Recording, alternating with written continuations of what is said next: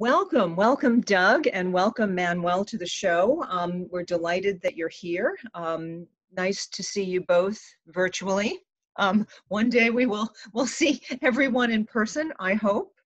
And um, look, just to set some things up, um, Doug, can you provide us some quick background on where the marketing industry is today on these transparency issues?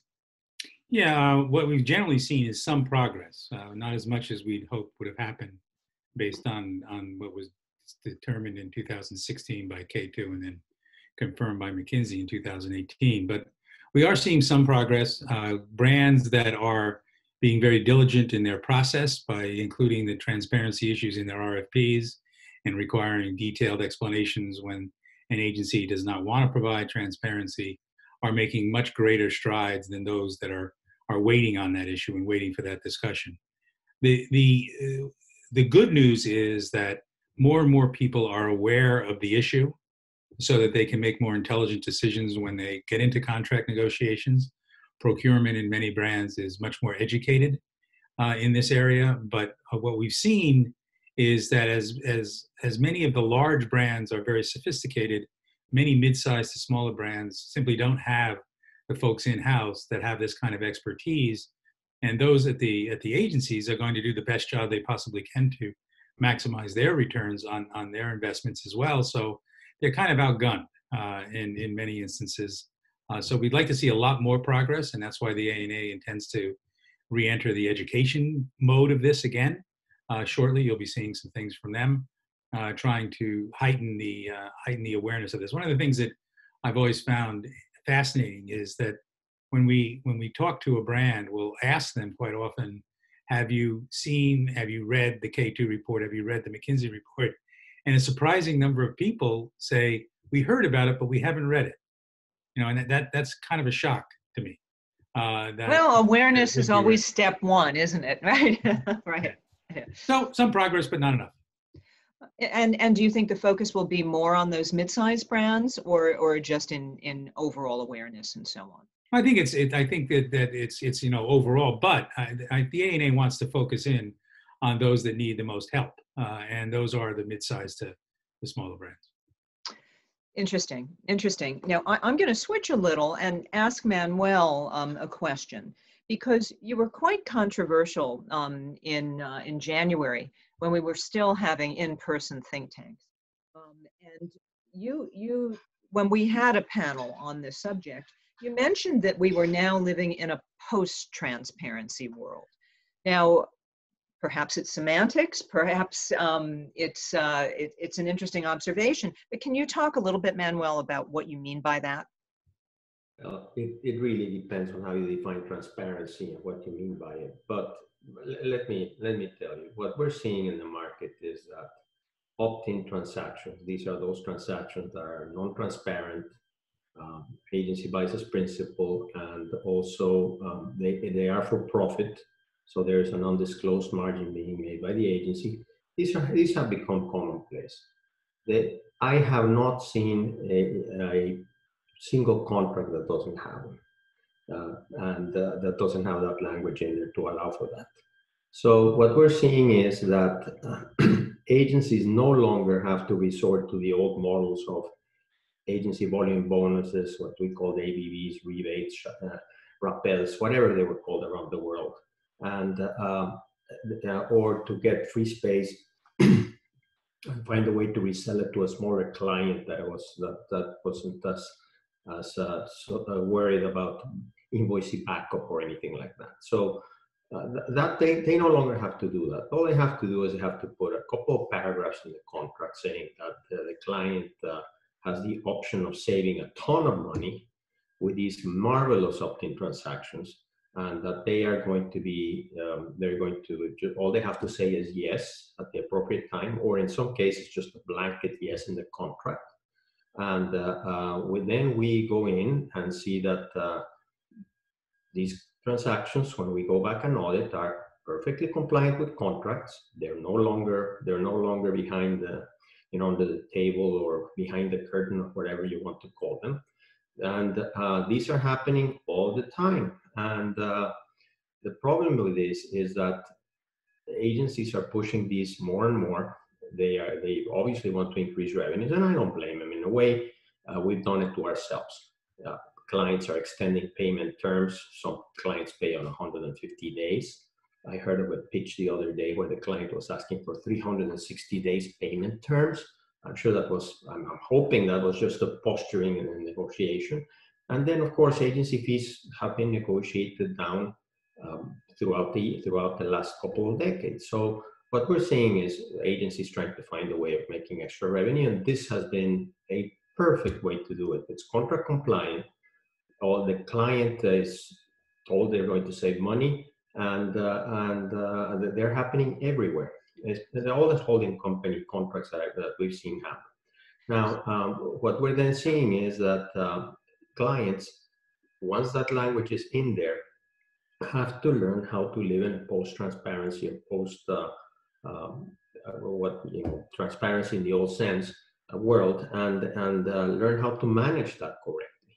And that's what i meant by the fact that transparency is dead and that we now have to live in a post-transparency world. Once this language seeps into the contract transparency so, is is no longer a given. So let, let me let me try to clarify as best as I understand it.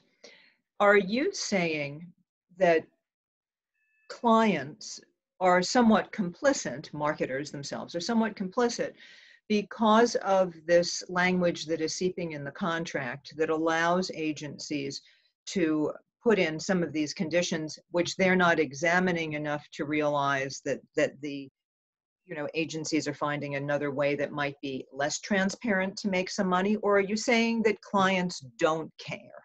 Is there something that that or in between it's it's a combination of things plus a couple of other scenarios you, you have clients who clearly don't understand what's in the contract because frankly no one ever reads the contract the person the only people who have read the contracts are uh, the people who prepare them, the attorneys, maybe some procurement. Seldom, very, very seldom does anyone in marketing, any marketing practitioner, have any semblance of an idea of what's in the contract. So therefore, you can put anything you want in the contract, but if you don't live by it, it's just as good as you know another piece of paper in the drawer. So uh, th- that's one issue. The second one is that uh, clients think in very short-term um, ways, and uh, they they're told, "Oh, you're going to save five percent." Imagine five percent, when the margin on these transactions could be up to hundred percent, and um, and uh, uh, then they approve these, and probably in good faith, trying to think, you know, thinking that they're going to save some money without understanding what's happening in the background. So you have those people. Then you have other people who think their agency can do no wrong and then anything the agency says goes. You have then other people who are very, very focused on, on just savings. They clearly understand what they're doing. They know that there, there's an issue here and that there's consequences to opting to these transactions. But hey, they have to make their, their year-end goal. They, they're looking for a promotion, and as long as they can work to that goal, um, anything long-term matter. And they approve these transactions. You know, Manuel has hit on, I think, what is the the key problem here. Uh, it's it's the adoption. You know, the, the, the, they're stuck on inertia. You know, the world was a nice, calm, easy place uh, for decades as agencies slowly got more sophisticated and found different ways to supplement their their profits because the brands had pushed them down so much on on a pure commission kind of a format. So they've gotten complacent very much so. And, and 2016, it kind of hit the fan, and everybody woke up, including some of the major brands, and and were a bit embarrassed because they were part of the process at the time, uh, and and they stepped in in the last five years. Uh, we've seen some efforts uh, of the various brands, but but here's the here's the thing. Manuel is right that uh, you know we can negotiate the best contract in the world, uh, and then that contract invariably gets stuck in a drawer and no one pays attention to. It. Some some brands that are spending hundreds of millions of dollars don't even do legitimate audits. They just stick they stick the, the contract in the drawer and that's it. You know, procurement did a good job, legal did a good job, but it just sits there. And and uh, largely because, as Manuel said, they're not measured on whether they did a good contract. They're not measured on any of that. They're not measured the, on the results of an audit. when an audit is done. Their their keep their KPIs are very different on how they earn their bonuses and and the and the rest. So it is not top of their mind. In addition, they're not there long enough. I mean, very often, you know, we always read the, you know, the press about the average lifespan of a, of a CMO is, is relatively short in the big scheme. So, so, so a lack of, of follow-up. I mean, that, that to me is the biggest thing is the lack of follow-up. The, the other thing that, that I, I think uh, is the case here is a false promise. They, you know, they claim that they're going to save you money, but there's no benchmarking. There's no benchmarking for you to use to see whether or not they've actually saved you money over other advertisers or other brands, or whatever it might be. I mean, I'm, I'm, I'm fascinated right now with media buying because a lot of agencies have made commitments to media that they no longer are going to be able to sell through their clients because their clients are canceling media. You know, I don't know what the deals they have with the media companies are, but I bet a lot of those so-called principal deals are going to come to bite them because they're going to be holding media that the media company is going to say, you owe me, and they're not going to be able to sell it to. So there's, that's the dark side of this principal buy structure that may come to bite the agencies in the end as well. We don't know. Uh, but the point is that, as Manuel said, there's there's all a lot of hard work is done, and then the whole thing is stuck in a drawer. They're not measured on it. The CFO doesn't even look at it. I mean, rarely ever seen a CFO even review one of these contracts. They don't follow it up with their boards. They, it, it's the largest spend they make, other than people in brick and mortar. Yet it is it is the, some of the most sloppy uh, compliance efforts that I've seen. Well, it, it sounds to me that part of the issue is that there are a number of different roles and different functions within the overall marketing organization or the overall C-suite that aren't always on the same page. That that might be one of it. But but how how do you how do you break through? I mean, Manuel said that procurement people are obviously concerned about these things. You're mentioning maybe a CFO doesn't look at it. Does it have to be elevated to be a, a, a bigger corporate issue? Ultimately, um, it amazes me that it hasn't. Uh, but marketing dollars, if I'm a CFO, I'm very comfortable when I can count things very precisely. So I know how many pencils I bought, how many employee benefits I had to pay, what my rent was. It, it's very mm-hmm. it, it's it's it's very objectively calculated. Mm-hmm. That's not true in marketing. Marketing true. is a mystery. You know, it's the the old joke about which half is wasted thing. Mm-hmm. Uh, so it's not it's not a comfortable place. So, but the the the the CFO is astute enough to know that I've got to market. I've got to do this. I've got to trust my CMO. I've got to trust you know whatever the market is, and I've got to do whatever my competitors are doing.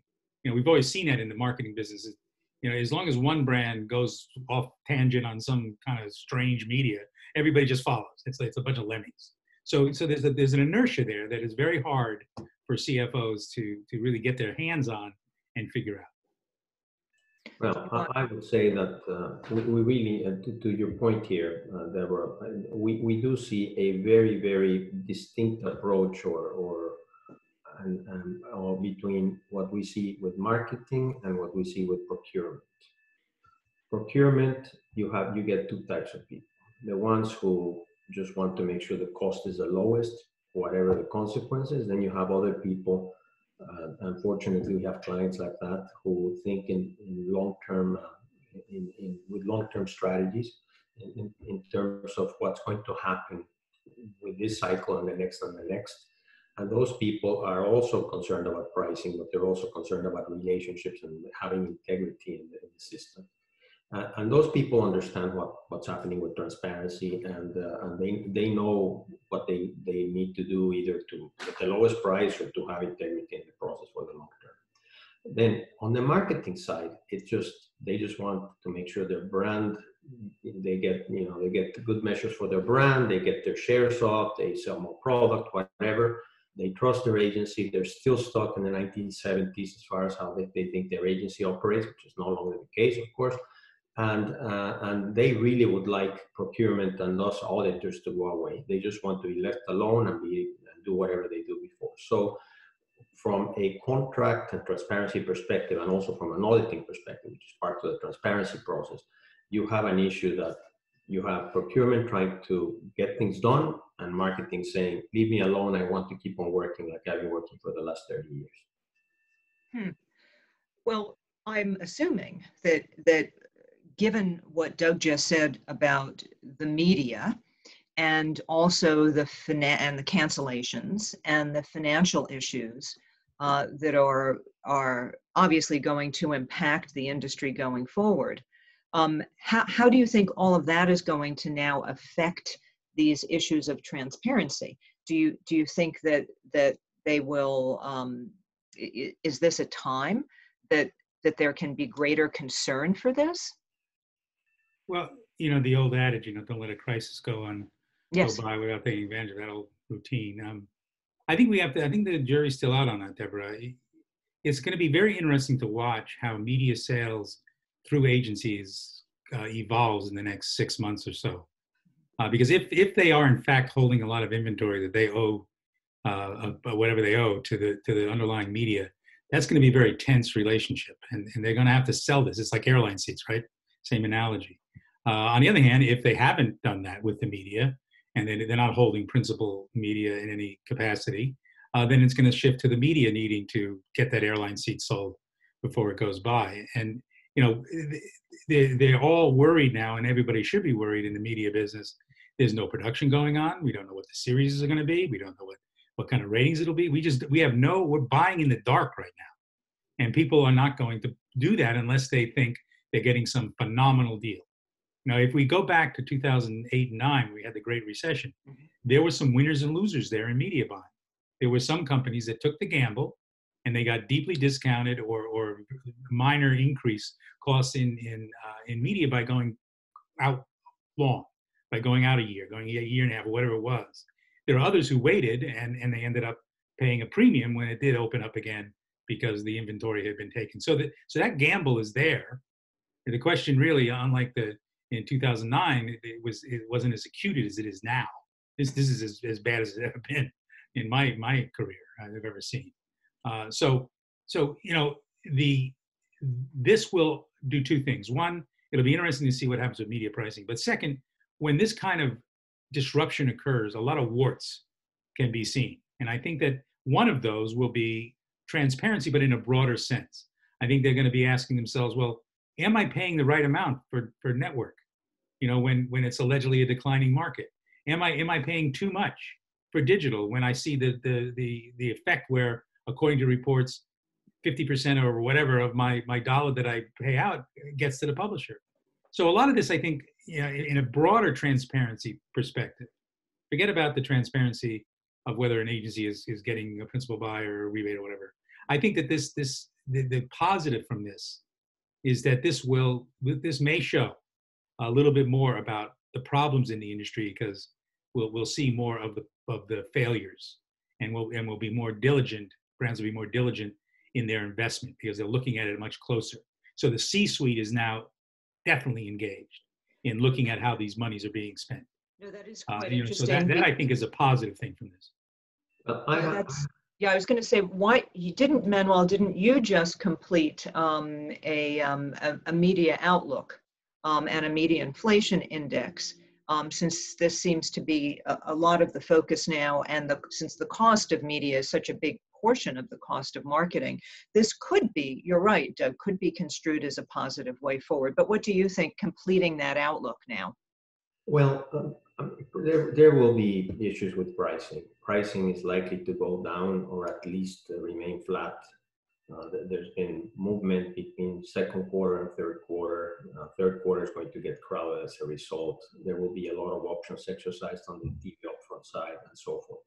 And, and we'll, we'll see how that sorts out. But on the transparency front, we are finding something incredibly interesting and, and disturbing happening right now clients, of course, are looking at their costs, including agency costs and payment terms. So they're calling agencies, and we, we know several instances of this happening now. And they say, I need to reduce my fees. And by the way, I also need to extend my payment terms, which uh, right now stand like whatever they are 120. Well, I need to extend them even further. So um, agencies are saying, well, can't do that. Oh, wait, wait, wait, wait. I have a solution for you, Mr. Client. You need to come back to your boss and tell them that you got the reduced fee and the extended payment terms. Great. What we're going to do is now you're going to commit to uh, opting into these transactions more than you have before. Let's set up a specific percentage of, of, of your spend that is going to go through the, the opt-in transactions. And I'll be very happy to extend your payment terms and reduce my fee. So again, uh, as Doug said, never let a good crisis go to waste. Mm. Well, I think advertisers are so focused on just keeping their business running that transparency is not necessarily top of mind. Whereas agencies are also thinking of, of, uh, of uh, keeping their business in good shape, and transparency is definitely on their mind. And uh, they're going to make sure that these opt-in transactions get cemented into contracts in a much more um, formal way and with fixed percentages in some cases. Yeah, that's an excellent point that Manuel is making in that once again, the KPIs on how the brand measures their executives and their success is all about pushing costs down, at least on a, you know, sub- subjectively. I mean, it's not easy to prove whether or not you really saved anything, but I, I agree 100% that the opportunity also lies with the agencies. And if they can get long term, they can get brands to accept more and more of this principal buy status going, you know, beyond the the cycle that we're in now, because it'll come back. We all know it's going to come back. Uh, then they're going to be even even in a better position than they are now. Um, so then, how do you? Uh, you're both advocates of of trying to foster a more transparent and trustful environment with within this whole ecosystem. That that's for sure. You both devoted a tremendous amount of, of your energy to it. Doug, you've taken on the whole trust consortium. Manuel, um, you you spend you know countless hours auditing to ensure that all of this is is you know in in compliance and so on. Where where do we where do we go now? What what do you recommend? What do you both recommend that marketers should be should be doing as as as they balance the concern the concerns of today's realities with the importance of these issues?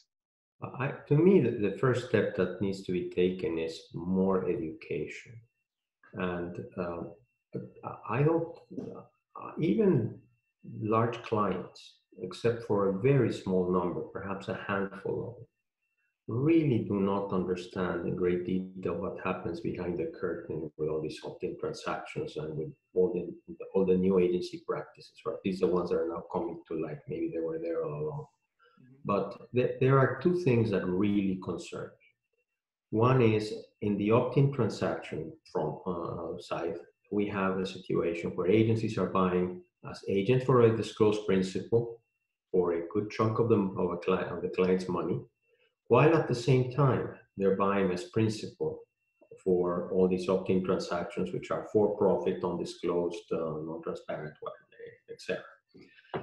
Um, it doesn't take a genius to figure out that while you're doing these negotiations, there could be value transfer from the agent transactions to the principal transactions. Let me just give you an example. Agency, big agency holding company buying group goes to big media conglomerate.